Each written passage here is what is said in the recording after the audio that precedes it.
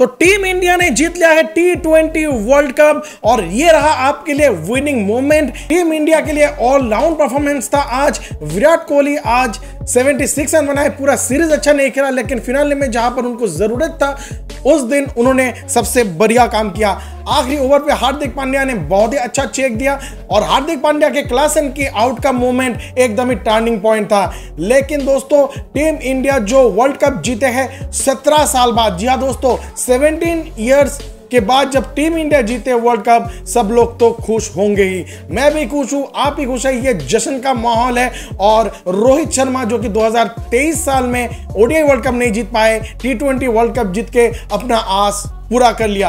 आपको कैसा लग रहा है दोस्तों? जय हिंद, नीचे कमेंट में आप ज़रूर लिखिएगा, अगर आप इंडिया को सपोर्ट करते हो।